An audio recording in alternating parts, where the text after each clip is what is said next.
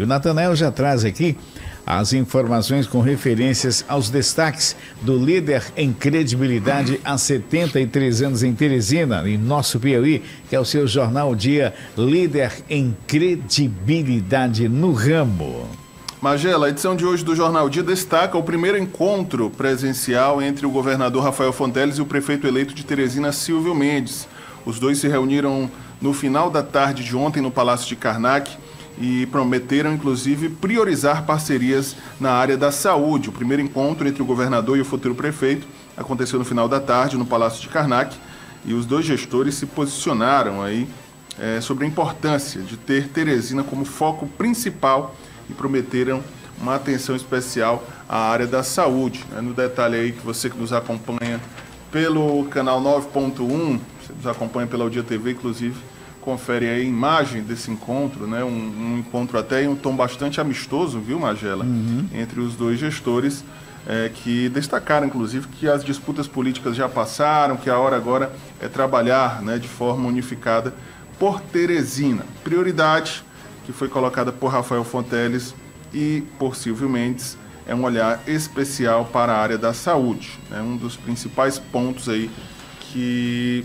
convergem né? a Prefeitura de Teresina e o governo do Estado, principalmente pela rede de saúde compartilhada na alta e média complexidade. Né? Teresina é, absorve bastante pacientes do interior do Estado, né? para o HUT, por exemplo, e para as UPAs, né? as unidades de pronto atendimento. Por outro lado, o Estado também possui HGV, o Hospital Getúlio Vargas e outras unidades que fazem cirurgias e procedimentos de alta e média complexidade.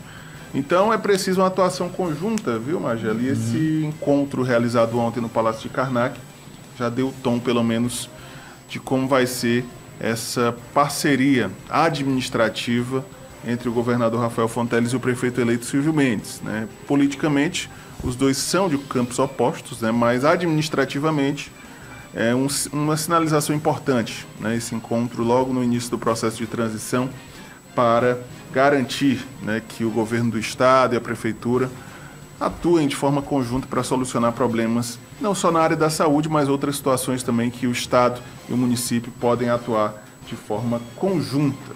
Você também confere na edição de hoje do Jornal Dia, viu, que a justiça suspendeu um contrato bilionário no município do norte do Piauí, no município de Cocal, no norte do Piauí.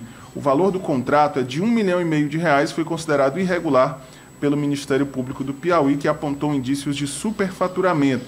O contrato bilionário tinha como objeto o abastecimento de combustível. O contrato previu o fornecimento de gasolina comum, etanol hidratado e óleo diesel por 178 dias, com um custo médio de 20 mil reais ao dia. Ou seja, aquela velha história que a gente já tratou por aqui, né? No final da gestão, um contrato aí com indícios de superfaturamento, contrato aí no mínimo suspeito, que foi suspenso pela Justiça. A informação completa você confere no jornal O Dia desta quarta-feira. Você também confere que o Tribunal de Contas identifica mais de 1.800 licitações irregulares no estado do Piauí, realizadas de forma irregular. O dado faz parte de um relatório da Diretoria de Fiscalização e Licitação e contratos, que apontou que órgãos estão promovendo em 2024 licitações com uma lei revogada no final do ano passado. Informação completa também na edição de hoje do jornal O Dia, que também traz, viu, Magela, informações sobre é, sobre o Tribunal de Justiça do Piauí, viu? O Tribunal de Justiça do Piauí, o STJ, vai julgar né, a quem pertence a vaga de novo desembargador do TJ, se pertencerá a um membro do Ministério Público ou da OAB, do chamado Quinto Constitucional, né, a nova vaga do Quinto Constitucional, que é, vive uma disputa entre a Ordem dos Advogados do Brasil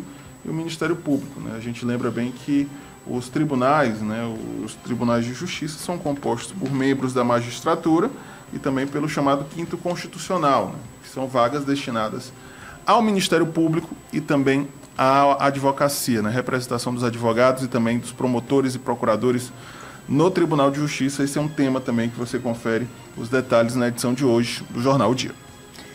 É isso aí, queremos dar o nosso bom dia ao nosso querido João Magalhães. João, bom dia, excelente quarta-feira. Magela Lima, Natanael Souza, Fabrício aqui nos estúdios e toda a nossa audiência. Um bom dia, uma ótima quarta-feira para todos. Algum destaque aí do seu jornal Dia Líder em Credibilidade, João, que gostaria de... Natan comentou, né, a, o encontro no início da noite, ontem, finalzinho da tarde, início da noite de ontem, só complementar o encontro, o primeiro encontro realmente entre o governador Rafael Fonteles e o prefeito eleito, Silvio Mendes, demonstrando aquela sintonia que a gente já aguardava entre os dois, né? O, o perfil de ambos não permite que seja de outra forma, né, Magela e Natan? Uhum. Tanto Rafael Fonteles quanto Silvio Mendes possuem todas as características de serem é, gestores que colocam né, os interesses, as parcerias administrativas acima de qualquer querela política. E a reunião teve um, algo interessante que chama a atenção, que foi o fato do governador reconhecer a necessidade dessa parceria priorizar a área da saúde, porque hoje a gente sabe que a cidade de Teresina passa por crises em várias áreas da gestão, mas talvez a que a solução seja mais rápida seja da saúde, né? Porque no transporte público a gente não pode esperar que o problema seja solucionado da noite para o dia. É verdade. Vai demandar muito tempo, porque demanda muito planejamento, muitos investimentos. Já na área da saúde, que diga-se de passagem, é a especialidade né, do prefeito eleito, Silvio Mendes, Assim como também no governo do estado há o comando lá na CESAP de um gestor que tem se demonstrado muito eficiente, que é o secretário Antônio Luiz, homem de confiança pessoal e técnica do governo do Rafael Fonteles. Então os dois demonstram aí a importância de priorizar a saúde nessas parcerias e, e, claro, é uma área em que, somando, encaminhando investimentos, buscando recursos junto ao governo federal, talvez a gente consiga visualizar uma melhoria na prestação dos serviços a curto prazo. Porque aí, se você contrata profissionais, se você resolve o problema da falta de medicamentos, se você contrata os equipamentos, e isso não demora muito, se tiver um planejamento, isso pode ser resolvido em seis, sete meses, o que para o poder público é pouco tempo, é, é, é, é rápido, né?